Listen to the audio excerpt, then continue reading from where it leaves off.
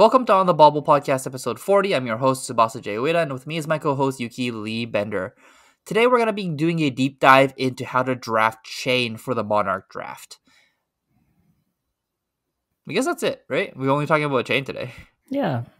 Talk about Chane. Before that, we'll talk about our week. But yeah, we're just going to be doing our um, our Chane episode, all about how to, you know, what are some of the key cards, what are some of the archetypes, how to play him, how to get into the deck, all those all those kinds of things. So it'll be yeah, we'll be going deep on Chane this week, and then the other classes or heroes will be coming up next week. Awesome. Okay, then um yeah, so how was your week, Yuki? My week's been pretty good. Played some Monarch draft on the weekend, did two drafts on Sunday and a draft on Monday as well. Played a whole bunch of stuff. Drafted a Levia deck, a Chane deck, a Prism deck. So I've been getting some good practice in. It feels good to kind of get reps in the format. We kind of mentioned last week that we've drafted this format a number of times, but it as I was drafting it, I kind of realized like it's been a while since I drafted it. So definitely feel like I'm getting some of the rust off and things are coming back to me. Um, but it's been fun. I've been really enjoying kind of diving back into Monarch Draft. Didn't you say you were going to draft Boltyn or force Boltyn this week? Yeah, that didn't happen. I think um, I was thinking about it, and then I realized that the problem was that I don't know what Boltyn should look like. So I think what I'm gonna have to do is try to build some like 30 card Boltyn decks with commons and rares, like maybe like two of each common and one rare, uh, one of each rare kind of thing, and see what that looks like, just so I have an idea of what it is that I'm looking for. Because I feel like right now I'm just like I don't even know what a good Boltyn deck looks like, so it's like hard to know. Like I'm not exactly sure what to prioritize. I know I know like Take Flight is good. I know Courageous Steel Hand's pretty good. Um, I know like Valiant Thrust is good and V and stuff, but I'm not exactly sure about like the combination of cards and everything. That's fair. Well, I know what a good Boltyn deck looks like now. The this week on our first Monarch draft, uh, one of the guys went into went 3-0 with Boltyn with like the most broken Boltyn deck I've seen so far. he had Valiant yeah. Dynamo, V of the Vanguard, Spill Blood. Yeah, he was the only Boltyn in the pod too, so he had like a bunch of take flights and just good cards. I played him twice with my pretty mediocre Levia deck that was playing like brandishes in it. The brandishes were actually pretty good. But anyways, I played my pretty mediocre Levia deck and I just died on turn like three both games. That's so crazy. Yeah, it's just like he's just like, uh, yeah, I'm gonna go first and uh, charge my soul, and I'm like, okay, cool. Hit you for some damage on his next turn. He's hitting me for like 17 or something. Not even counting like the plus attack from the Boltyn stuff. I'm just like, oh, cool. guess I die. uh, yeah. yeah, I guess we just go straight into the episode then? Yeah, we can do that. I think we got lots to talk about.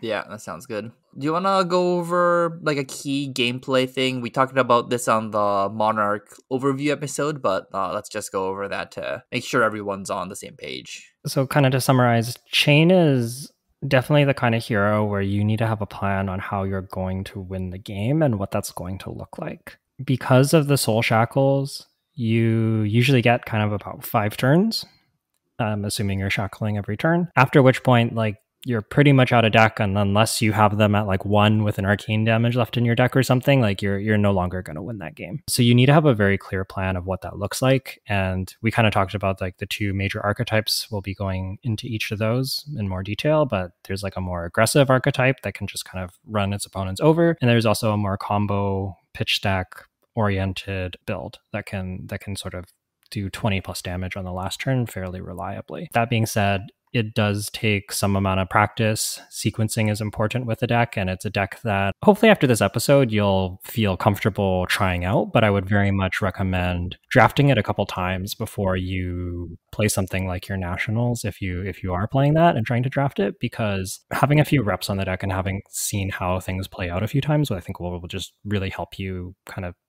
pick up the deck. It's it's hard to do it on the fly and make it all work perfectly the first time, I guess. At least for me. Yeah, no, definitely it's a very difficult deck to do that. It's it's gonna be quite difficult if you're gonna try playing the combo version. You'll need to know your pitch deck and how the shackles affect your pitch deck. It's uh, pretty easy once you like get a hang of it, but you it'll be near impossible to do that like if it's your first time picking up the deck and drafting it. So definitely if you can't do drafts, at least just build like a 30 card draft chaff Chane deck and see what these decks end up looking like. And trying that would probably like it would help a lot in in being able to pilot the deck properly. Yeah, and if you do that, I think you can if if you do that or if you draft Chane and you have your deck left over, I think it's even the kind of deck you could consider goldfishing a few times just to like like with intentionally thinking through your pitch and what that looks like and seeing if you can just like remember what's in your pitch deck, remember like think about setting up those end game turns to close out the game and, and and all of that. I think if you just have the repetitions, it's going to be a lot easier to do that when there's, you know, stakes and pressure and, you know, you're in a match that really matters. This is another way you could go about practicing it. Yeah. Let's uh, just move right into the key cards for this deck. So, how are we're gonna break this up, we're gonna talk about just key cards that are good in all versions of Chane first, and then we'll talk about the actual archetypes later in the episode. So let's start with the best cards in the set for Chane. We're going to talk about the equipment first. It's going to be Ebon Fold, Aether Ironweave, and Stubbies. Those are the three equipment that you're going to be looking for to have a successful Chane deck, no matter what kind what kind of Chane you are. Yeah, and of these, I think Ebonfold and Aether Ironweave are pretty high picks. Ebonfold's pretty strong in either Levia or Chane, so it's a flexible pick that is also powerful. And then Aether Ironweave is just so good. Stubbies I do think is good in Chane, but I'm often picking it up a little bit later. Like I kind of want to. It's kind of your reward for being Chane because I think that's the deck that it fits into best. Although Boltyn can also play it. I have also started to like Stubby Hammerers and Prism now. Cards sweet everywhere, I think, but that might be just like a later episode kind of topic. yeah, Jay has discovered that you can just put Belittle Minnowism in every deck, and why not? It's pretty good. Yeah, it helps you swing your auras with uh with belittle. That that being said, let's uh talk about Aether Ironweave a little bit more in detail. So this card is a uh, Runeblade equipment chest, so only Chane can play it. It has Battlesworn 1, so it just gains you one life right off the bat. That already is pretty broken. And it has an action ability that has Go Again that just generates you two resources if you've played a non attack action and an attack action. So what this basically means though is that for you to effectively use Aether Iron Weave, you do need to play a non-attack action. So if you're planning to pop this off on your combo turn, you have to have a non-attack action incorporated in that turn. Uh, I guess for the non for the combo deck, it's just like there's no way you can kill your opponent with the non-attack actions, anyways, right?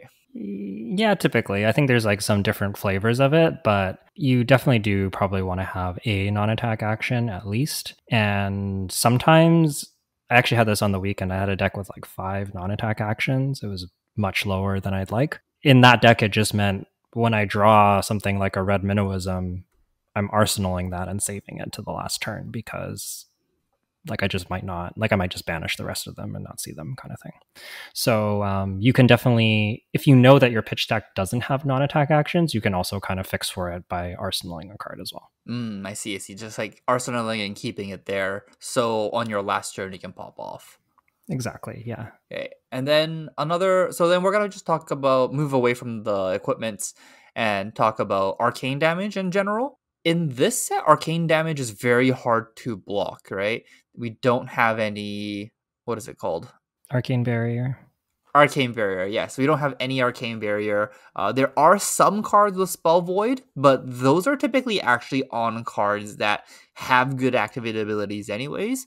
So it puts your opponent in a spot where if they end up using their Spell Void on those cards, it actually like turns that card off. So just arcane damage in general is very powerful in this format. And the main two cards that you want to be looking for will be Vexing Malice, which this card actually does two arcane damage on attack, or arcanic arc archaic arcanic? Archaic? Arcanic. Arcanic? Arcanic crackle which is a one arcane damage on attack. Uh do you want to talk more about arcane damage in this four Chane i guess? Arcane damage kind of fulfills a couple roles the first one is that often in Chane your early turns aren't necessarily great at pushing damage. You often need like a couple, like it's when you start getting one or two hits off of your shackles that you start really getting these crazy turns for the most part. And Arcane sort of lets you help chip damage early to kind of soften up the opponent and make that you know, like making that spike turn that you need to have to go over the top not quite as big because you've been whittling them down with arcane damage. It also enables certain cards. So there are payoffs for having dealt arcane damage, like Rip Through Reality, which is a two for four that can be played from Banish. And if you've dealt arcane damage, it has Go Again, as well as Piercing Shadow Vise, which is also a two for four at red that can be played from Banish. But if you've dealt arcane damage, it gets plus two, so it will be a two for six. So um, if you have these cards in your deck, you also want to have arcane damage in your deck to turn them on, although the arcane damage is just good in general as a way to either close the game or soften up the opponent so that you can combo them out and go over the top. Yeah, there's actually an interesting play where you can do not a play, but just like a game plan you can have with Chane of like if you have if you can count to like 21 with arcane damage, you don't actually have to shackle and just play 21 points of arcane damage and your opponent can't actually block it all. I wouldn't recommend this as you're just gonna get outvalued by cards that are more efficient than you, like Prism cards, Boltyn swinging their axes, uh, Levia's just cards in general is just like above rate in general. So you'll end up losing the game if you try and count the 20 with only arcane damage. But that being said, there isn't arcane barrier in this set. So if you can count to 20 with arcane damage, they are definitely dead. I think if the deck is low powered, this kind of strategy can be like a good kind of backup plan.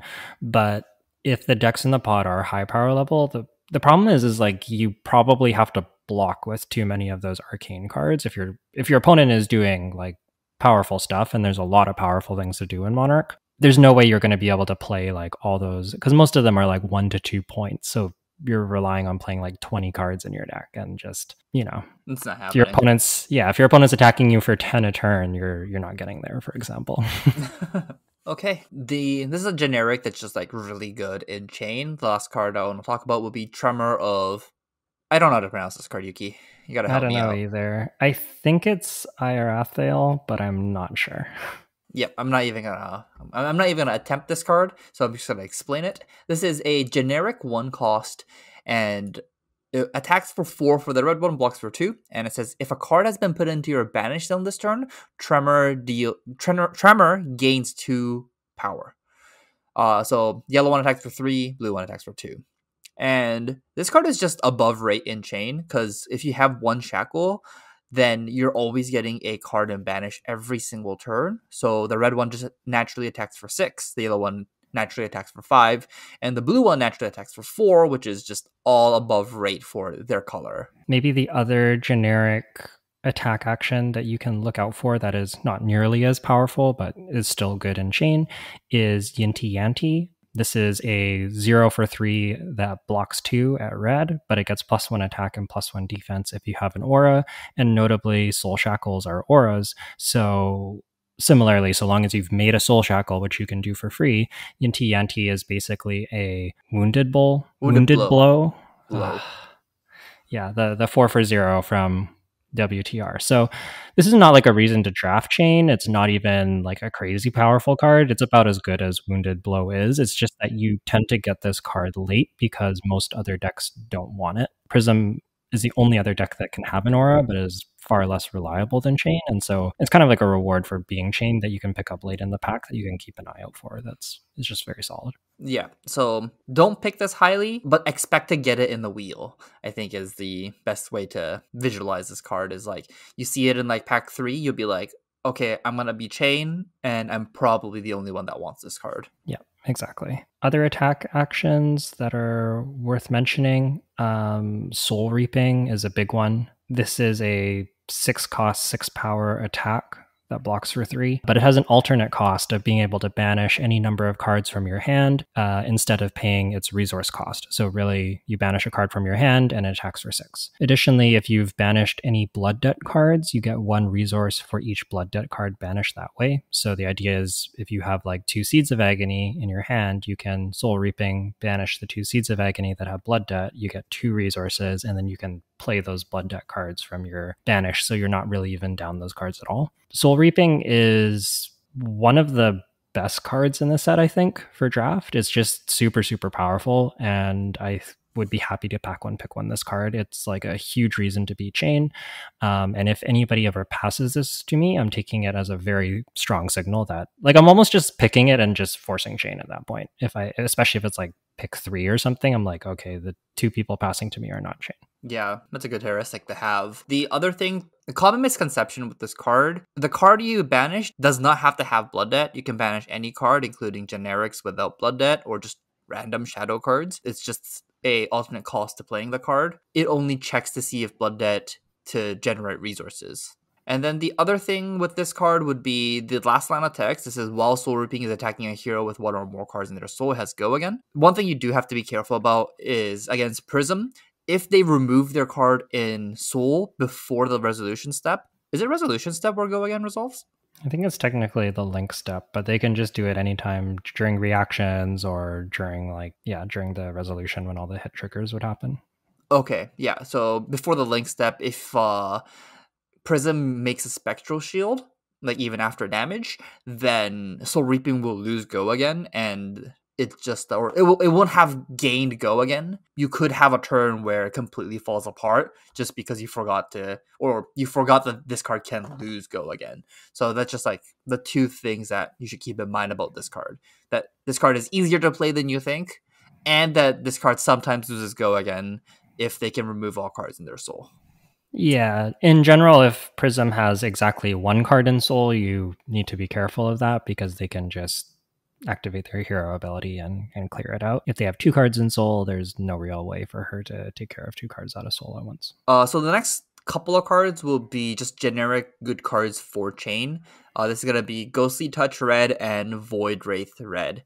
These cards basically do the exact same thing. There are shadow action attacks, and they can both be played from the Banish Zone. The Ghostly Visit Red is a one cost attacks four. Void Wraith is a two cost attacks for five. Just good efficient cards. When you hit these off blood debt, they are just really solid. And even when you're they're in your hand, they're like slightly below rate, but not too bad. And the upside of being able to get extra cards from your blood debt more than makes up for it. Yeah, that's just like when you naturally get these off of like shackles, it's it feels like you just drew an extra card, like really.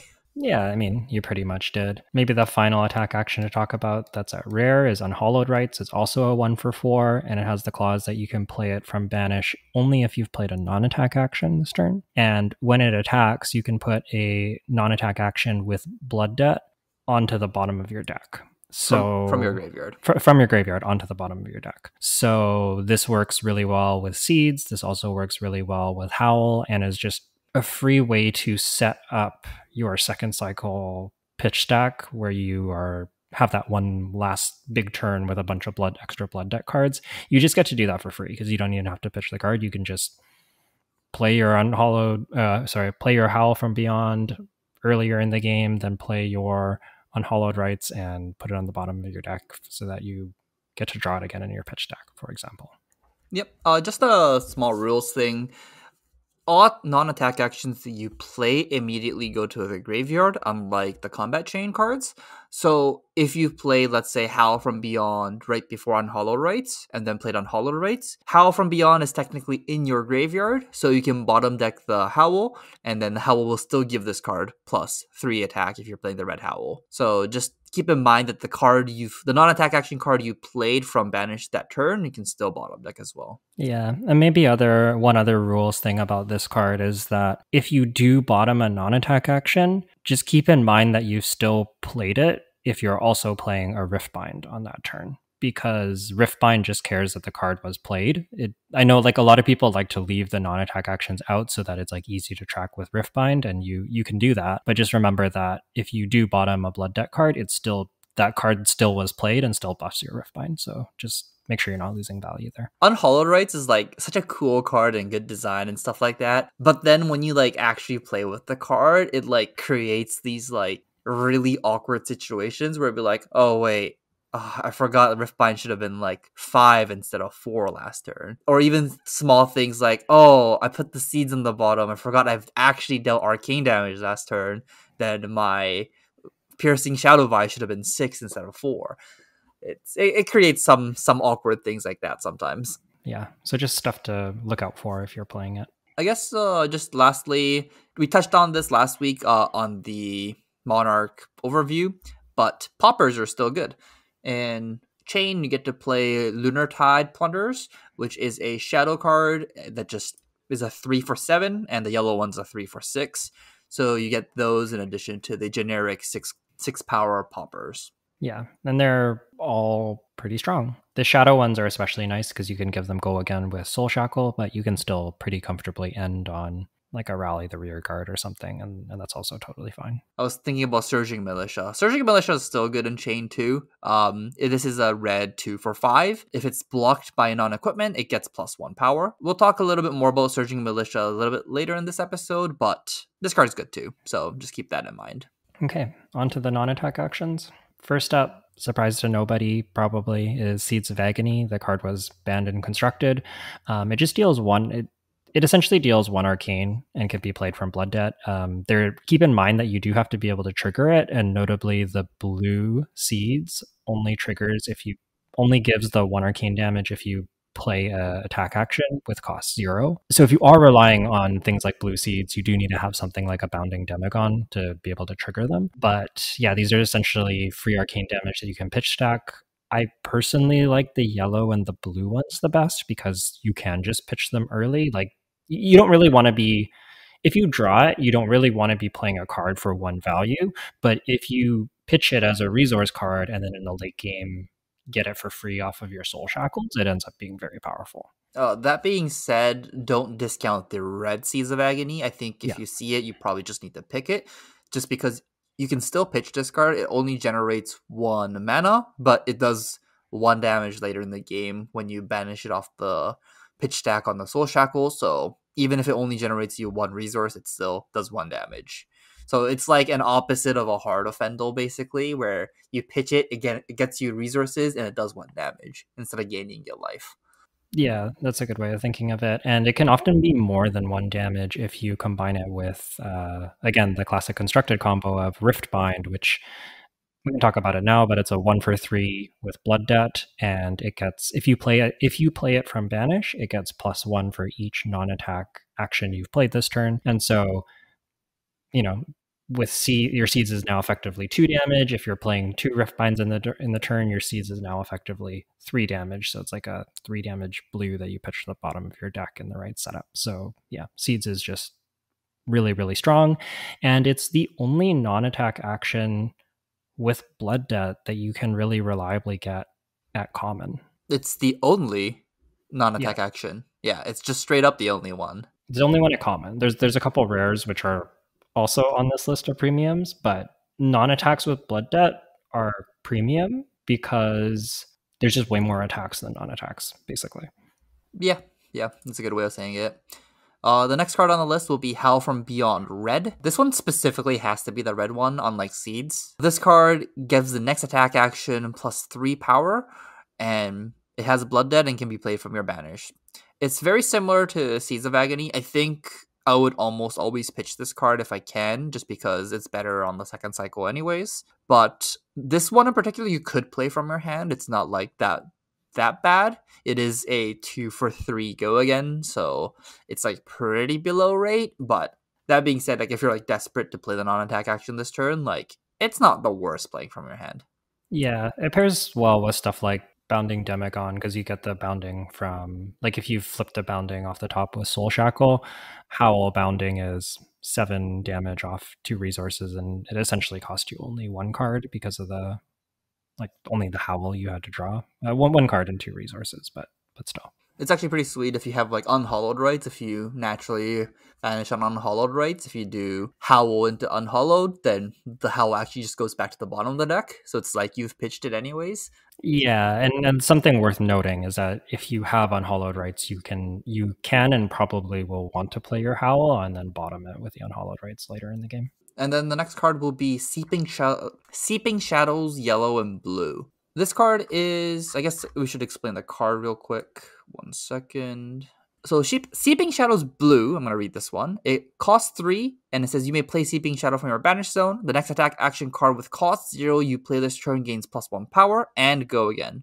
This card has go again and is a has blood debt. And notably, the power isn't what scales up with pitch; it's the restrictiveness of it. So the blue is only zero costs or less. The reds are one cost or less. Sorry, the the yellow is one cost or less, and the the red gives go again to anything two cost or less. So while the red is more flexible, really you kind of want to be pitching this card and getting it because again, three resources for an action point and a card is like three resources and a card for an action point and one damage is like way, way, way below rate. But if you can pitch it to your second cycle and have a big combo turn with this, and it's kind of instrumental in that because it gives you an extra action point to play all of your cards, then uh, suddenly it's a very good card. And for that reason, the yellows and the blues are are much better than the red because you can pitch them and not be too far below rate when you do that. Just a another point: uh, if you do end up playing like a red seeping shadows, this card gives any attack action with cost two or less plus one and go again. So it can give your generics go again as well. I do see some people misunderstanding this card that it has to be like a shadow card or a runeblade card like Chain's ability, but that's not true. This card will give any attack action go again and the power if uh if you need to. Yeah, definitely. Uh, the next card would be Minnowism Red. So this is part of the Belittle Minnowism package, but you don't need to have Belittle for Minnowism to be good. It's essentially just a hmm, what is that card called? Nimblism. Ah, yeah, Nimblism. It's exactly like Nimblism, right? Yeah, essentially, but Nimblism is also particularly good in Chane because I guess the he has a lot of stuff that's power three or less, especially because his base power. So like Riftbind and Bounding Demigod at red just get hit by Minnowism naturally. Um, you also want non-attack actions because stuff like Unhallowed Rites and Bounding Demigod require you to play a non-attack action uh, in order to play them at all, and then Riftbind gets pumped up by your non-attack actions. So Minnowism is just one of the best ways to do that. Three for zero, go again at red is just really good. Yeah, it ends up just being like a head jab that turns on your turns. And playing that card at red is is the perfect perfect color to do it. The yellow and the blue is just like significantly worse. Uh the blue is obviously playable if you're playing belittle, but if you don't have belittle, then just the red one is good. And if you are playing belittle, the red one is really good. So, yeah. And then finally, our last non attack action here is Warmonger's Recital. This is a one for three, uh, one for plus three on your next attack. Um, so not quite as efficient as the Minnowism, but it works on any attack. And additionally, it gives that attack, if it hits, that attack goes to the bottom of your deck. So again, we've been talking about the importance of your pitch stack, but this card can enable some really good things. Like if you if you hit a red Riftbind early and you can't really afford to leave it there to keep getting blood debt. Um, if you play a Warmonger's recital into the red Riftbind, it gets plus three from the warmongers, plus one from the uh, from having played a non-attack action, and is coming in for seven, uh, which is an awkward breakpoint. And if it hits, then you have a red Riftbind in your pitch deck for your combo turn. So um, it has just has some really nice play patterns, and just getting to send your blood deck cards. It, it works in a similar way with like Ghostly Touch. You can two for seven with a Ghostly Touch, and goes to the bottom of your deck if it hits, which is just really really strong because it's like it's almost like a delayed card draw if it hits. Yeah, yeah. And even better than that, Chane can give the Ghostly Touch or Riftbind go again. And you have, if you pitch the blue, you have one resources left to, like, swing your Galaxxi Black that's already turned on now. Yeah. So all of a sudden you're kind of doing the math, right? You pitch a blue and a Warmonger's recital, and you if you have a ghostly touch like already in your banish, or you hit it off the top, you're dealing seven damage plus three for the Galaxxi Black is like a two card ten, which is just insane. Yeah, with uh on hit pseudo draw card and on hit deal one arcane on the Galaxxi Black. Yeah. And it works with a whole bunch of cards. It works with Unhallowed Rites, Riftbind, Bounding, Ghostly. Very, very good. Just super solid. Honestly, Red Warmonger's Recital just a pretty strong card in this set in general. Like almost all the heroes want this card. Yeah, it's just very good. Okay, so those were mostly all of the key cards or just good cards in like all versions of Chane. Some of the other cards you think are good might just be for like a specific version of Chane or we're going to talk about an aggro Chane list and a combo endgame Chane list and we'll talk about more cards there. But before we go into that, let's talk about the Majestics and if they're either good or unplayable. So we're talking about the good ones first. I think pretty obviously, or it might, it might not even be obvious. Shadow of Ursur is a very, very good card. It's a blue zero for two. You can play it from your banish zone and it blocks three. It's an attack. And it says that as an additional cost to play Shadow Ursur, you may banish a card with Blood Debt from your hand. And if you do, it gains Go again and it has Blood Debt. This is a great way to go wide. It's also a resource card that has Blood Debt and goes wide on your combo turn at the end. The cost of banishing a blood debt card is again not really a cost assuming you wanted to play that card anyways. So yeah, it's just like what is it? It's like a blue but it comes in as if it's a yellow head jab and it blocks 3, which is already a good card and then you can also just pitch it and draw it for free later. Yeah, like honestly, the first time I read this card, or even now when I read this card and look at it, I'm just like, how is this card on a radar good? And then you play with this card like four or five times, and you're just like, okay, yeah, Shadow of Ursur just like enables the most disgusting of turns in Chane, and a Shadow of Ursur is just like an all rounder, just A plus. Yeah, it's like kind of subtly powerful, but it's just this like it's like a great glue piece. It just kind of like ties the whole deck together and it does everything you want. It's like you can draw it and play it and it's still pretty okay. You can pitch it for a late game and it helps your combo turn. Like it just it just does everything. Would you draft this card highly though? It's a good question. I might, honestly. Yeah, that's fair. That's fair. I think if I know I'm in Chane, this card becomes like a super high pick. But I don't know if I will move into Chane for Shadow of Ursur. Yeah, I guess it depends on the pack. I think it's like right on that line. I would consider picking it. Um, like I could pack one, pick one this card and be like reasonably happy with it. I don't know. I, I feel like there's probably better pack one, pick ones, but it's still pretty solid. I think I agree with that. The next majestic on this list will be Invert Existence. This card is very good. You do need to be careful about who you play this card into, but almost every deck in the format should play non-attack actions the and in the mirror it can get very awkward but at the same time very powerful. I don't know how to explain the power level on this card. It's just it doesn't take an action because it's an instant. So it's like one cost deal two unblockable damage that's also a blue and goes into your pitch stack for your combo turn because you can play it from banish for free. So it's just a blue that you pitch, and then at the end game, you just get to at some point go one resource, deal two unblockable to you. So it's like a blue that almost makes your opponent start with two less life, assuming they have attacks and non-attacks, which is it's almost any deck. It, I guess it's like almost like it's almost like equipment in terms of power level because like you don't have to draw it. Like even though like you do draw it and it's in your deck and like you may do it that way like often you don't have to draw this card because of shackle to get its value. Mm-hmm. a cool line to do as well with this card if you're playing the mirror is you can intentionally give them cards with blood debt that they can play again to do four unblockable damage. So if after they've played their all their cards with their action point if you invert existence and give them like a bounding demigod and uh and a howl from beyond or something. Uh, it'll do this card will do, do two damage to them, and then they'll take two more from blood debt. So it's like four unblockable for one resource, which is insane. Yeah, you can just kind of kill people out of nowhere with it, which is really nice.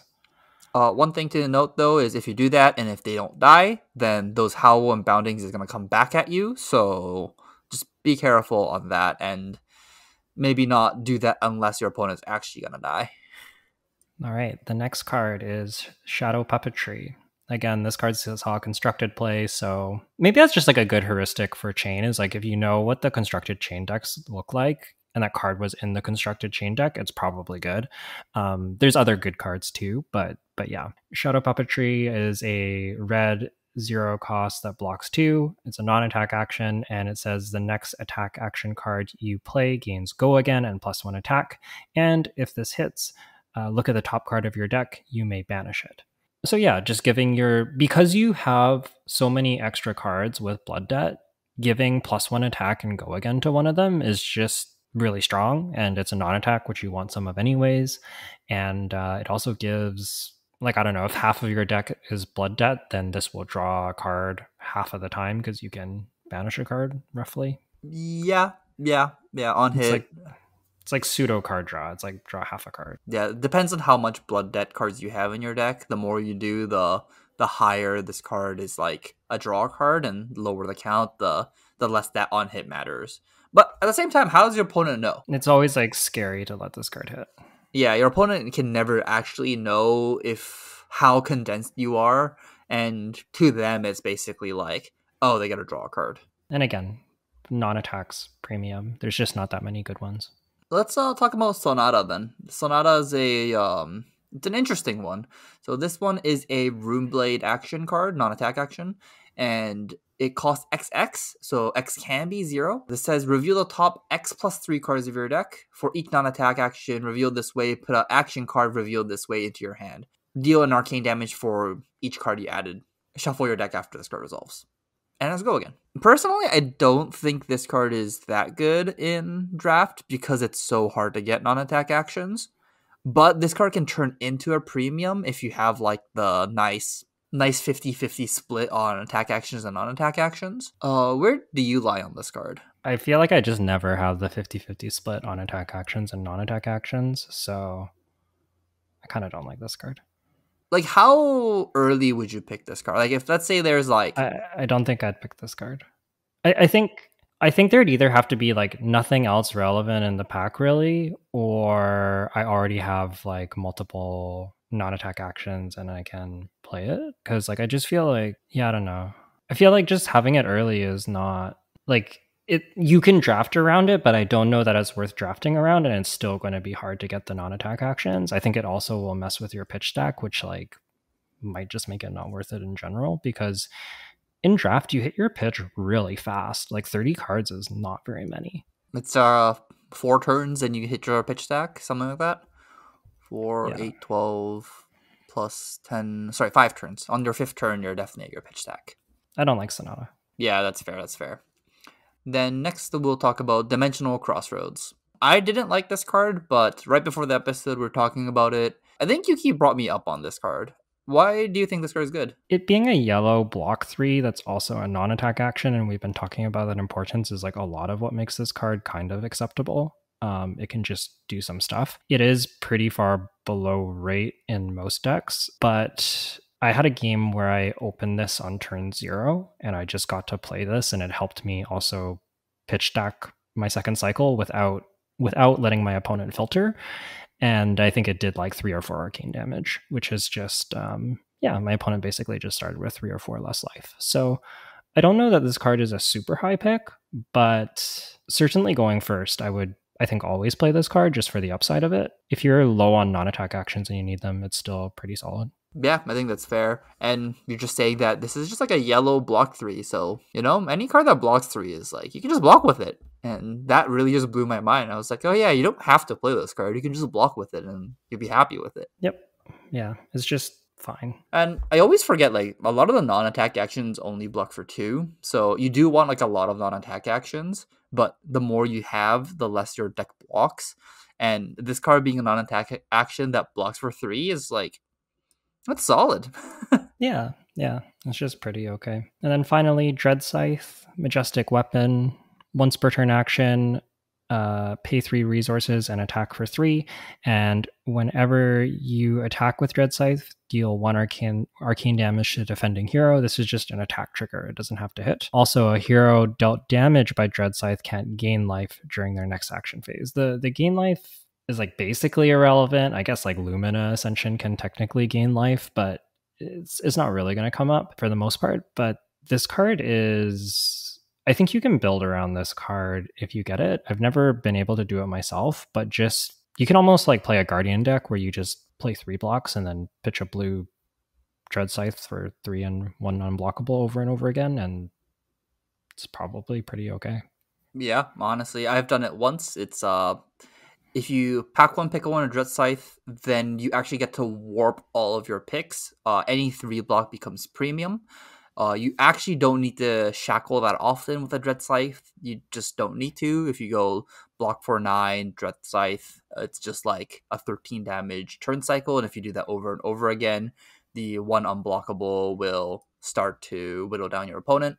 This card will start doing very good things with like Archaic Crack, Arcanic Crackle, Vexing Malice, um, generic two cost reds that attack for a lot. Um, if you have Rip Through Realities, you can go Dread Scythe, deal one arcane. Now Rip Through always hits for four go again. Uh, same with Piercing Shadow Vise. Uh, if you go Dread Scythe, uh, Chane, Soul Shackle, Dread Scythe to give that card go again, then pitch another card to Piercing Shadow Vise for six from Banish is pretty strong. There's just like a lot of good like Dread Scythe becomes like a really good like one to maybe three shackle Chane deck where you stop shack stop making soul shackles at like one or two shackles and you play like seven or eight maybe nine turns with Dread Scythe. And honestly it's just like a it's like a deck on its own and you don't get to draft this unless you open a Dread Scythe but when you do pack one pick one and Dread Scythe it's pretty pretty powerful honestly yeah, I haven't gotten to do this, but um, it's very much a card that you need to have built around. So if you see it early, you can do it. But like if you're getting this like late pack three, this probably just this probably doesn't just slot into your Chane deck. That's a good question, actually. Is this card just always better than Galaxxi Black? I don't know if it is. I think it would probably depend on your blue count. Like to play Dread Scythe, I would want a high blue count. Mm-hmm. Yeah, I think I would like 15, 16 blues, honestly. Yeah, because like ideally you're giving this go again and then you're doing other stuff. And I think it gets better with stuff like like the rips and piercing shadow vise that you mentioned. Um, mm-hmm. But I think you need a high blue count. And if you don't have that, it's a little bit awkward. I don't know if I would be inclined to play this card. Maybe. Mm-hmm. Maybe it's still just fine as a way to close out the game in the end game. Yeah, actually, it's pretty interesting. Like, if you're playing this card in like the aggro version of the Chane, if you just make sure you keep one blue, then this is the arcane damage that you're missing. You know, at the end of the game to close out if you really need to. Yeah, maybe it's just good. I don't know. If any of our listeners have experience with this card and just like a situation where you didn't get to build around it, um, we'd love to hear about your your thoughts down in the comments. That'd be mm-hmm. really interesting to hear about. Yeah, if you get this late anyways, like if you're I would like probably pick things like Seeds of Agony over this card anyways, but like if it comes to you like pack 3, pick 5 or something, I would probably just pick it up and it might be like a small upgrade to Galaxxi Black. The other non the other majestics I think we're just going to kind of skip over, but Mutated Mass is not fantastic. Tome of Torment and Guardian of the Shadow Realm are can I say that these cards are like not cards you should be putting in your deck? Is that fair to say? Yeah, I would almost never play those cards. Mutated Mass is is like a pet card for me. Um, you can do some very very interesting pitch stack. Like you can try and make sure that the cards you draw are zero cost, one cost, and two cost, by like intentionally pitching like a red two cost or something like that. But it's like you can do you can be very creative with Mutated Mass and it could win you games, but I think it would kill you more often than not. So I would stay away from it unless you really want to like put yourself through that hellhole. yeah, it, it's probably okay in the combo version now that I think about it because you often pitch two blues. So it's probably okay there. It can be like kind of like a blue ghostly visit that doesn't block, which is fine. But but yeah, this card is even though it's majestic, like you probably want to steer away from it. Yeah, of Torment Guardian, just don't play it. To- of Torment is is is awkward. It's always awkward. It's just don't do it. It's it doesn't have go again is the problem, and it only draws one card. It's just like yeah, it doesn't do anything that you need. You can shackle it, but like you're usually more gated on action points than you are in need of like an extra a card. card.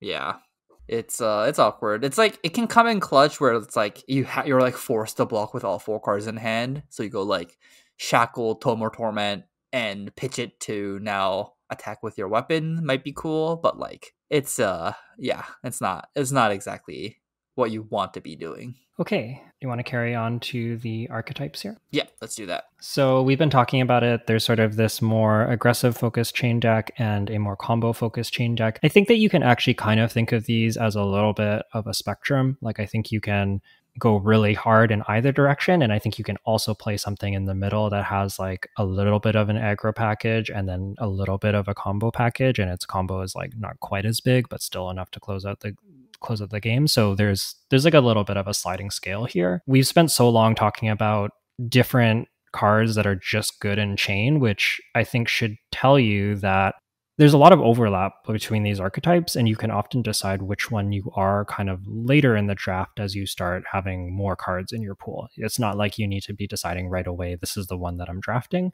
Um, you can kind of figure it out as you go along based on what cards you're seeing. Yeah. The one caveat to this will be belittle Minnowism. Belittle will if you are using belittle to look for your deck for a Minnowism, it shuffles your deck. And if you shuffle your deck, your combo end game will be very difficult to set up. So the if you are playing belittle as like a way to find Minnowism, then it could just make it so that you can't really do a combo end game unless I don't know. Is that even possible to play Belittle in a combo version of the deck? I think you can still play it, but you need to be careful about. You basically don't want to shuffle if you're too far down your, like too late into the game. But if it's on turn, like the first like one or two turns of the game, you can do it, and it's pretty okay. Um, yeah, mm-hmm. that's basically what I would say. But I think it's also just fine. Like one for three, go again is like it sounds kind of silly, but it's actually fine in a Chane. Um, you have so many cards that again, the action points are a big concern, and just finding more ways to have go again is is pretty powerful. The aggro version of Chane, uh, I like to play like even yellow and blue belittles to go look for minnowisms. If you go that far, then you definitely can't play that combo end game because then you're like constant constantly shuffling your deck with uh, finding Minnowism over and over again. Yeah, that makes sense. Um, so maybe jumping into the aggro deck, outside of Belittle and obviously Minnowism, what other cards are kind of defining that aggro Chane deck for you? The cards I really like in this deck would be Rip Through Reality. I think this is, um, as we keep on saying that this Chane gets gated by action points. Rip Through Reality is the two cost attack action. At red, it attacks for four, and if you've the arcane, this card has go again it's not the easiest to deal arcane, but combined with a card called Rifted Torment, which is a card they also like in the aggro version of Chane, which is also a two cost that attacks for four. But if it's played from your banish zone, it does one arcane damage.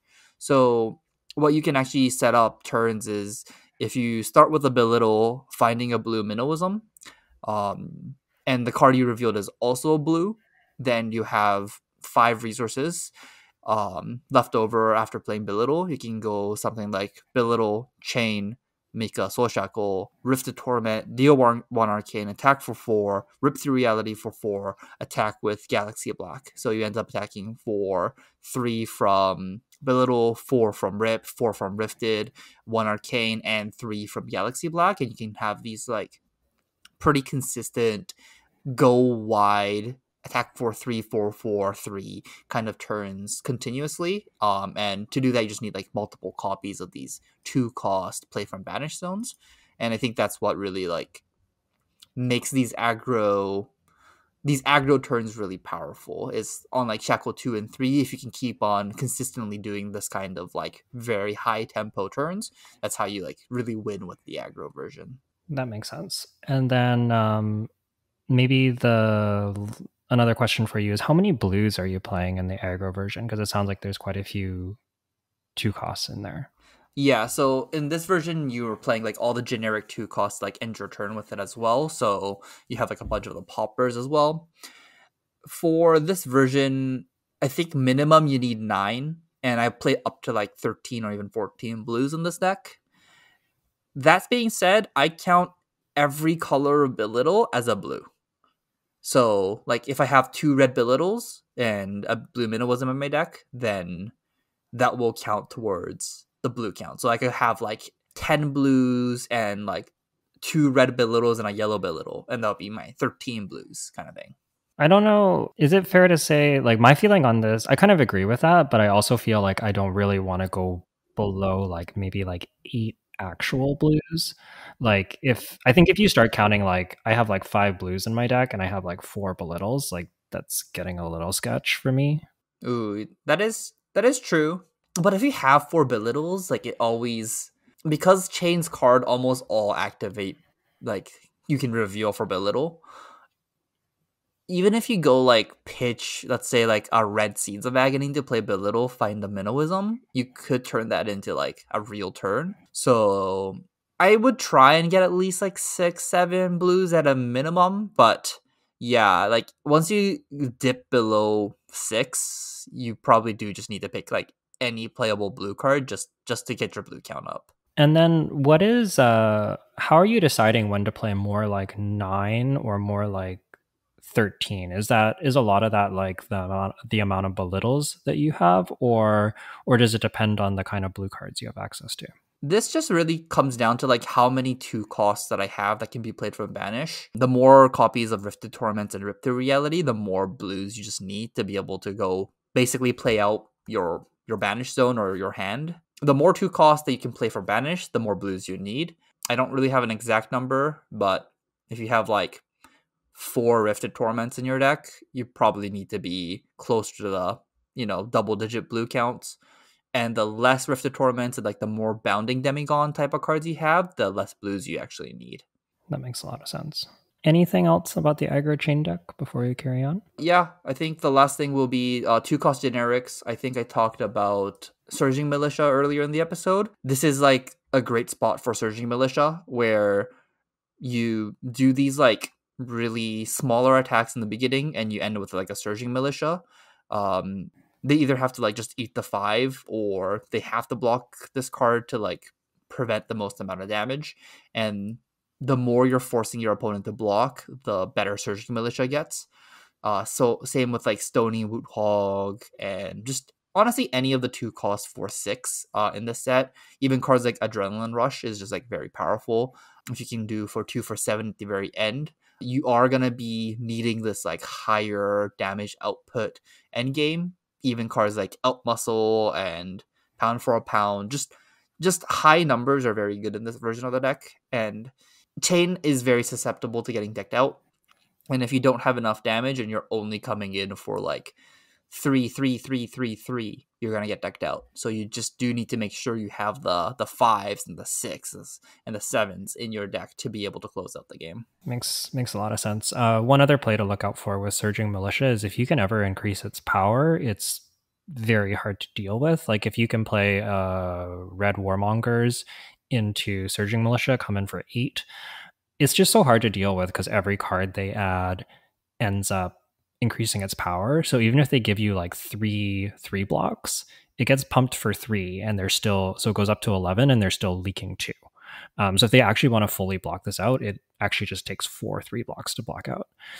So just like a really good way to close games, and I think you can kind of keep that in mind and apply that to any hero in the format. There's multiple pumps in the format, and Surging Militia is a generic, and just in general is really good at closing games if you especially if you can pump it. Do you want to explain a little bit more about the combo side of the deck? Yeah, so when you're leaning more into the combo endgame, you are hoping to have multiple cards in Blood Debt at the end of the game in your banish and just kind of have like a very large combo turn. It's actually pretty flexible in terms of how you can set up your combo. I think you can one of my big takeaways after having drafted more is that you can make a lot out of a little in this deck so long as you kind of have some of the key pieces.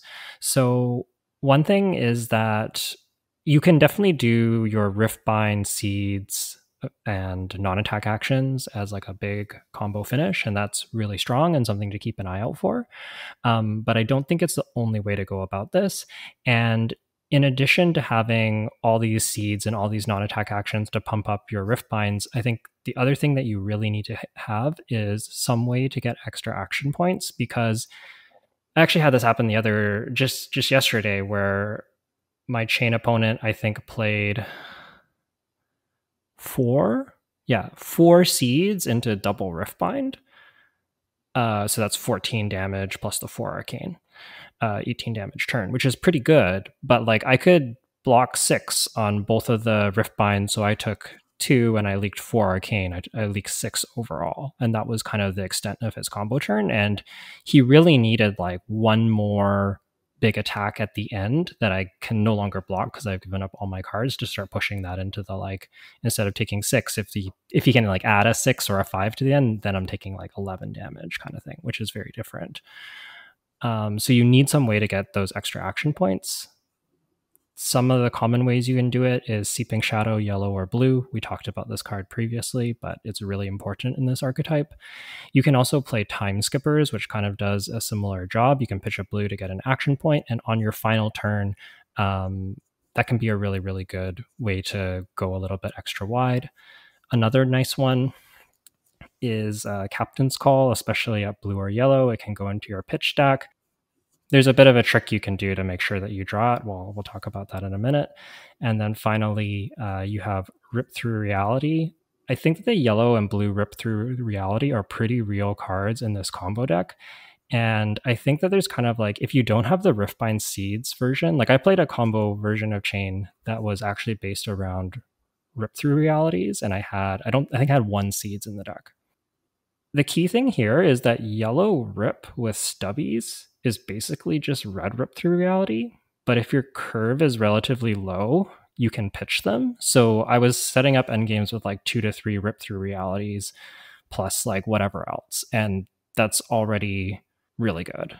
like that's already like a lot of damage, right? So I think that's like another way that you can do it. You just need to make sure you have arcane, whether that's um yellow rifted torment works really well because again with stubbies it's basically red rifted torment um, and it will turn it on for free. You can also use uh, seeds to turn it on pretty easily, but you you do need to make sure you have that. So yeah, you're kind of assembling this big combo turn, and any equipment you can have is also key to kind of going over the top and creating that spike turn. So stubbies is good, time skippers is good, and Aether Iron Weave and Ebon Fold are good in general, but I think they're kind of crucial to this combo deck because again, to play so many cards and play all these rip through realities, like the two resources from Aether Iron Weave just does so much. And Ebon Fold is a really interesting card in the combo deck because I guess um, we can read Ebon Fold. It's a shadow uh, headpiece that has Spell Void 2, and it has an instant ability that costs one red and you destroy it. And then you can banish a card from your hand, and if it's a shadow card, you draw a card. Now, the really cute interaction here in your last turn is that every soul shackle happens during your action phase and you get priority before every single soul shackle. So you can actually Ebon Fold in response to a soul shackle to draw a card. And this is really powerful because something you can practice doing is tracking where like a key card that you want to draw is in your pitch stack and knowing like the way that I do this is like, okay, my third shackle is going to be maybe my blue captain's call that we talked about earlier. And then I can do my first two shackles and then respond to my third shackle by ebb and folding, banishing a card, drawing that blue captain's call that I want to draw, and then I have my extra action point. Um, the most common thing that you're looking for here is a blue to draw into, just so you have lots of resources. But you can also sometimes want something like um, like a red minnowism, for example, just to pump up your refines and give you your non-attack action that you need. So there there are other things that you can have, but most frequently it's a blue that you're looking for. Yeah, that play is pretty sick. It's really funny though. Sometimes I'm watching Yuki play and she's like like you can clearly see that she's like thinking really hard, but she's not exactly sure what the order is on the banish, and she's like sitting there for like two minutes. And Ebon, like she has her Ebon Fold in her hand, and she's already pitched for it, but she doesn't know where to use it. It's like, do I banish one more card? Yes, no. Think, think, think, think, think. Banish. Okay, is it the next card now? it it definitely is a little bit tricky and rewards practice. I would say that since I think I'm I've moved away from trying to remember my pitch stack and instead just remember the position of the card. So I remember it is it's going to be my third shackle. And then if I ever let's say like I don't I can't use a card in my hand and my shackle moves, then I'll know that well it's going to be one deeper because I didn't I missed a card draw. So it went from 3 down to 4. And then if I end up doing something that accelerates me towards my pitch stack like I don't know, like a shadow puppetry bans a card, uh, banishes a card, for example. Then I go one card deeper and it becomes one card closer. So if it was at three, now it's going to be my second one. And I just try to remember that number. And for me, that has been kind of the most reliable way to do it. You can sort of um, you can sort of do the math of like I'm going to draw four, then shackle like two cards, then I'm going to draw four, shackle three cards, draw four, shackle four cards and so on and see i actually count my deck and count it in that way and figure out exactly where it's going to be in my in my pitch when i'm setting up this combo. Is uh i guess a common question would be after that would be would you shackle no matter what in this deck then? Like even if you didn't have a card to play after the go again card or like let's say you don't even have a card that can gain go again would you just shackle no matter what?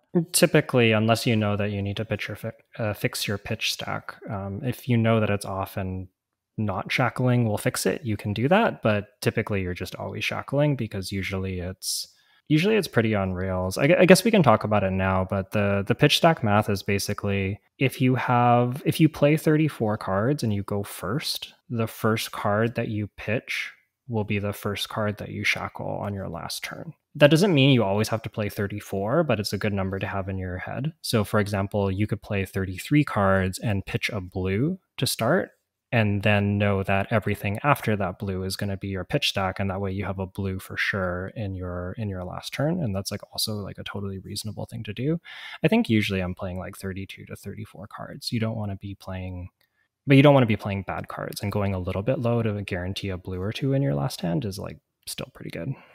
Mm, yeah, that makes a lot of sense. It's uh just like having this number of like 34 going first is like really good. How does this change if you're going second? It's sort of hard to calculate because it depends how many cards people strip from your hand. Basically, the way that I would think about it is so your your default is if you go first, the first card that you pitch is going to be the first card that you banish on your last shackle. If you end up drawing cards, like let's say you block with two cards on your first turn, and so now you're two cards deeper into your pitch stack. So that means you're still going to be shackling cards, but you're going to be shackling like two random cards that you don't know what they are. So basically, what this means is that your your shackle turn at the end is um, there's going to be less known cards in your in your banish essentially. But typically you are still pitching for your second for your for your final shackle. If they if they take your full four it does get a little bit awkward. Mm, okay. It's maybe a easier way of thinking that would be like you can actually just track how much you are off from 34 as well after you draw yeah. up. And so if you have like a 30 33 cards after you block sorry if you have you have four cards in your hand let's say you block with one card, you were playing 34, you can just play as though it's a 33 card deck from there.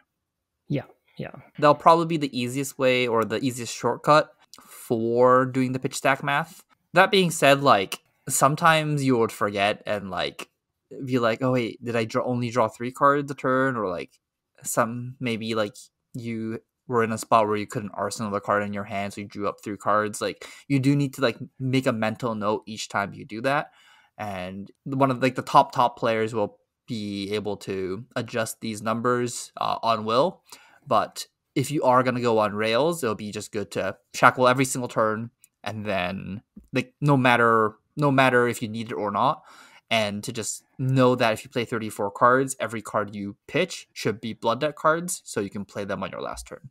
And for this reason, going first as Chane is actually pretty okay because sometimes you can just get like two premium. Like it's like a good opportunity to pitch red blood debt cards, for example, to the bottom of your deck, just to guarantee that you that you see those in your in your last turn. So going first can be pretty nice, although I still think you prefer to go second, so there's less pressure on you. Yeah, yeah. I think I agree with that. Yeah, going for actually I've never thought of it that way. If you go first and pitch some reds, it goes in your pitch stack. Yeah, that's that's pretty solid. That's pretty solid. Yeah. I, I don't think it's enough to make you want to go first, but just like we kind of we talked about this before on the going first or second episode, but Chane is one of the decks that is pretty good at going first. Arguably in CC, I think he just wanted to go first. In draft, I don't think it is quite the case, but it's close. Mm-hmm. Yeah, it's just like in CC, you got to like actually build a deck with like only a blood debt card, so every card that you banish was like playable in draft it's not the case. Yeah and i think grasp is a big part of that too like as a pitch outlet that lets you like sometimes it's just hard to pitch two cards to the bottom of your deck depending like if you're pitching two reds to the bottom of your deck, you need to have a one cost that you can play. Otherwise, it's really awkward. Or like a two cost, I guess. Like if you have like all zeros, it doesn't it doesn't work. For example. Okay. Well, either way, even if once you know the pitch stack math, it gets a little bit easier. So practice with that. Just be wary that things can throw it off and there's like a lot of different ways that can it can get thrown off be careful when that happens as we said earlier when we were talking about the archetypes, that the aggro version wants the specific cards I talked about. The combo and game version talks about the cards that they want. And if you've noticed that you can the combo endgame version really talks about playing blues and yellows. You can do that with also playing the aggro cards. The only difference would be that if you're like too heavily into aggro, you have too many like red rip through realities and red red rifted torments whereas in the combo ones you just want like blue versions of the cards.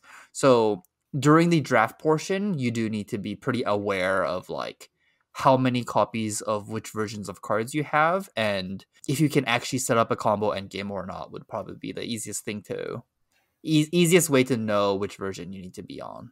And i also sort of mentioned it that it's like a little bit of a sliding scale. Like i think you can have like up a belittle brandish version that that goes wide early and then has not quite as strong of an end game and that's fine. Just i guess where it really breaks down is if you are searching with belittle repeatedly, then you're going to ruin your pitch stack. So if you're relying on belittle searching a lot, then you really are the aggro version. But if you are just playing like belittle primarily as a go again card and you know otherwise you're just utilizing go again with brandish and rifted torments and some of the two costs you you can definitely still play the the combo end game because again a lot of what you're pitching can be yellow or blue like I, I might be looking to do like the yellow rip through reality yellow uh rifted torment setup with stubbies if you're doing that, for example. Okay, I guess uh, we'll just move on and let's just talk about how to get into the deck. Yeah, there's kind of a few ways. I think that the biggest pulls into the deck that make me go like, I really want to draft Chane specifically is Aether Ironweave and Soul Reaping. Do you agree that those are kind of the two biggest reasons to be in Chane? Yeah, yeah, I think so. I think Aether Ironweave just gaining one life is so good, and Soul Reaping just card's insane. Like you just if you have that like having that card and not having that card is just like I don't even know how to say it. Just like it's so good. It's so good. If you see that card, it's probably a good reason to be in the Chane. Yeah. Keep in mind it is legendary. So you probably don't see two because it's a rare and it's short printed, but it is technically legendary. So you cannot pay you cannot play two of them even if you draft two of them. So keep that in mind. Mm-hmm. But yeah, that card is insane, and you should just if you see it, you should pick it. Soul Reaping a hard card to open, and let's say Aether Ironweave doesn't get past you. Is there any other ways to get into the deck? Yeah, I think after that, the other Chane specific card that I'm really looking for is Seeds of Agony. Um, we said how the blue and yellow are especially good, but even the red one is like I think a very high pick, and um, I think especially if I'm seeing these around like pick three or four, I'm seeing that as a signal. Uh, Seeds isn't always like a card that you have to pack one, pick one, but it is a pretty high pick, and it could be pack one, pick one, I guess, if you really want to go Chane. Mm-hmm. And I think conversely, talking about how if you see like a seeds pack one, pick three, that might be like a signal to move in. That also means that if you are passing a Seeds of Agony in pack one, pick two, then you can probably assume somebody on your left will move into Chane for those cards. Um, because for Chane to be really like above above the other decks, they need to have the Seeds of Agony that's like a pretty good reason for them to move in. So if you pass like two seeds of agony early in the draft, you could probably assume that Chane will be cut from your left after that. And I think the same thing applies to Aether Ironweave and Soul Reaping, although you should probably just be pack one, pick winning those. Yeah, that's fair. Another way to get into this deck, just the Shadow Reds. So Ghostly Touch, Howl from Beyond, and Void Wraith at red are all really good, and all also have a place in Levia, so they are a little bit more flexible. So often I'm pretty inclined to pick these early in a pack and then I might move in for something like a seeds. Or I might have like a density of these shadow reds and it's just clear that Chane is open. Um, like I'm just seeing a, like a high density of Chane cards and maybe there's like some solid ones like red riftbind, red bounding demigon, you know some of those cards that like aren't quite good enough to move into but are solid role players if i if i already have shadow reds and i'm seeing those late i'll just i'll pretty happily draft Chane and i guess a last way to get into Chane would probably be the generics. Obviously poppers go in all the decks and you'll start with those but belittle minnowism would be like a very strong reason to be in Chane as uh, Chane is the one that gets to use the action point the best and the extra resources the best. If you start a draft with like you know multiple red belittles and a blue minnowism or a red minnowism it would probably be like a good you have a strong reason to try and move in the Chane if possible and then cards such as maybe like rifted torments or rifted reality, realities will go up in value um, if you are more situated towards the aggro plan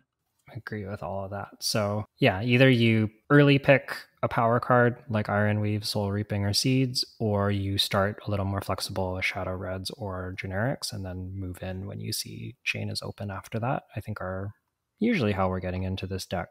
I think that if you are experienced with Chane, you can do quite a bit with a little, but I do think that it it's not it's not so straightforward. And I think most players will probably be most comfortable drafting Chane if it's like two of like if there if there's two Chanes, the Chane decks are very, very good. And I think they have enough raw power that like they're pretty approachable. When you start getting to like the three Chane decks, like you start having to get pretty creative with what you're doing. And you can get there if you're practice and you have experience, but it's really hard. And even if you do have that experience, like you can just mess it up. Yeah, you can lose to some some Prism player that are playing multiple copies of impenetrable beliefs and blinding beams and if they if they truly want to beat you and you're in a three Chane pod they will beat you i guess uh, that it's a good segue to I just ask uh how many Chanes do you think should be on a pod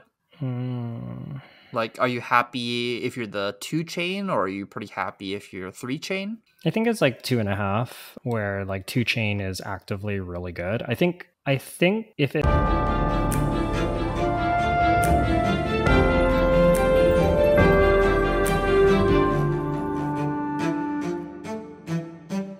Welcome to On the Bauble Podcast, episode 40. I'm your host, Tsubasa J. Ueda, and with me is my co host, Yuki Lee Bender. Today, we're going to be doing a deep dive into how to draft Chane for the Monarch draft. I guess that's it, right? We're only talking about Chane today. Yeah. Talk about Chane. Before that, we'll talk about our week. But yeah, we're just going to be doing our um, our Chane episode all about how to, you know, what are some of the key cards, what are some of the archetypes, how to play him, how to get into the deck, all those all those kinds of things. So it'll be yeah, we'll be going deep on Chane this week, and then the other classes or heroes will be coming up next week. Awesome. Okay, then um, yeah, so how was your week, Yuki? My week's been pretty good. Played some Monarch draft on the weekend, did two drafts on Sunday and a draft on Monday as well. Played a whole bunch of stuff. Drafted a Levia deck, a Chane deck, a prism deck. So been getting some good practice in. It feels good to kind of get reps in the format. We kind of mentioned last week that we've drafted this format a number of times, but it as I was drafting it, I kind of realized like it's been a while since I drafted it. So definitely feel like I'm getting some of the rust off and things are coming back to me. Um, but it's been fun. I've been really enjoying kind of diving back into Monarch Draft. Didn't you say you were going to draft Boltyn or force Boltyn this week? Yeah, that didn't happen. I think um, I was thinking about it, and then I realized that the problem was that I don't know what Boltyn should look like. So I think what I'm gonna have to do is try to build some like 30 card Boltyn decks with commons and rares, like maybe like two of each common and one rare, uh, one of each rare kind of thing, and see what that looks like, just so I have an idea of what it is that I'm looking for. Because I feel like right now I'm just like I don't even know what a good Boltyn deck looks like, so it's like hard to know. Like I'm not exactly sure what to prioritize. I know I know like Take Flight is good. I know Courageous Steel Hand's pretty good. Um, I know like Valiant Thrust is good and V and stuff, but I'm not exactly sure about like the combination of cards and everything. That's fair. Well, I know what a good Boltyn deck looks like now. The this week on our first Monarch draft, uh, one of the guys went into went 3-0 with Boltyn with like the most broken Boltyn deck I've seen so far. he had Valiant yeah. Dynamo, V of the Vanguard, Spill Blood. Yeah, he was the only Boltyn in the pod too, so he had like a bunch of take flights and just good cards. I played him twice with my pretty mediocre Levia deck that was playing like brandishes in it. The brandishes were actually pretty good, but anyways, I played my pretty mediocre Levia deck and I just died on turn like three both games. That's so crazy. Yeah, it's just like he's just like, uh, yeah, I'm gonna go first and uh, charge my soul, and I'm like, okay, cool. Hit you for some damage. On his next turn, he's hitting me for like 17 or something. Not even counting like the plus attack from the Boltyn stuff. I'm just like, oh, cool. guess I die. uh, yeah. Yeah, I guess we just go straight into the episode then? Yeah, we can do that. I think we got lots to talk about. Yeah, that sounds good. Do you want to go over like a key gameplay thing? We talked about this on the Monarch overview episode, but uh, let's just go over that to make sure everyone's on the same page. So, kind of to summarize, Chane is definitely the kind of hero where you need to have a plan on how you're going to win the game and what that's going to look like. Because of the soul shackles, you usually get kind of about five turns, um, assuming you're shackling every turn. After which point, like you're pretty much out of deck, and unless you have them at like one with an arcane damage left in your deck or something, like you're you're no longer going to win that game. So you need to have a very clear plan of what that looks like. And we kind of talked about like the two major archetypes. We'll be going into each of those in more detail, but there's like a more aggressive archetype that can just kind of run its opponents over, and there's also a more combo pitch stack oriented build that can that can sort of do 20 plus damage on the last turn fairly reliably. That being said, it does take some amount of practice. Sequencing is important with the deck, and it's a deck that hopefully after this episode you'll feel comfortable trying out. But I would very much recommend drafting it a couple times before you play something like your nationals if you if you are playing that and trying to draft it, because having a few reps on the deck and having seen how things play out a few times, I think will, will just really help you kind of pick up the deck. It's it's hard to do it on the fly and make it all work perfectly the first time, I guess. At least for me. Yeah, no, definitely it's a very difficult deck to do that. It's it's gonna be quite difficult if you're gonna try playing the combo version. You'll need to know your pitch deck and how the shackles affect your pitch deck. It's uh, pretty easy once you like get a hang of it, but you it'll be near impossible to do that. Like if it's your first time picking up the deck and drafting it. So definitely if you can't do drafts at least just build like a 30 card draft chaff Chane deck and see what these decks end up looking like and trying that would probably like it would help a lot in in being able to pilot the deck properly. Yeah, and if you do that, I think you can if if you do that or if you draft chain and you have your deck left over, I think it's even the kind of deck you could consider goldfishing a few times just to like like with intentionally thinking through your pitch and what that looks like and seeing if you can just like remember what's in your pitch deck remember like think about setting up those end game turns to close out the game and, and and all of that. I think if you just have the repetitions it's going to be a lot easier to do that when there's you know stakes and pressure and you know you're in a match that really matters. This is another way you could go about practicing it. Yeah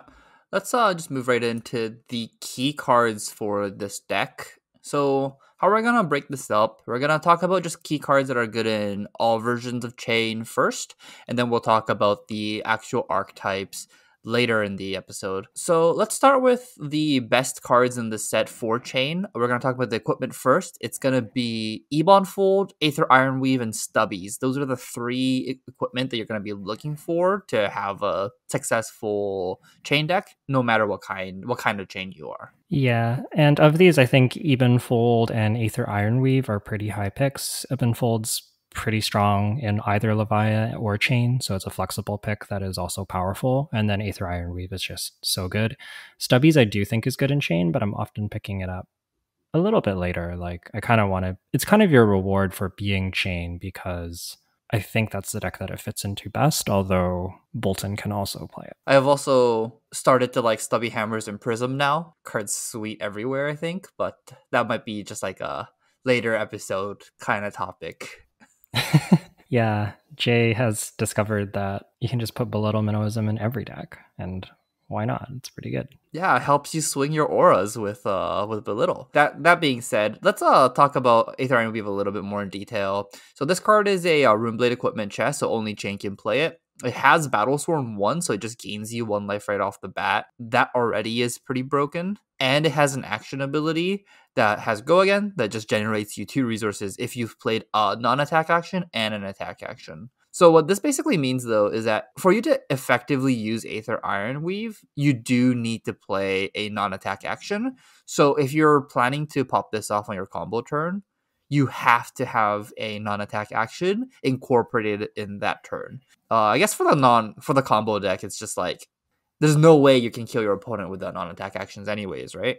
Yeah, typically. I think there's like some different flavors of it, but you definitely do probably want to have a non-attack action at least. And sometimes I actually had this on the weekend. I had a deck with like five non-attack actions. It was much lower than I'd like. In that deck, it just meant when I draw something like a red minnowism, I'm arsenaling that and saving it to the last turn because like I just might not like I might just banish the rest of them and not see them kind of thing.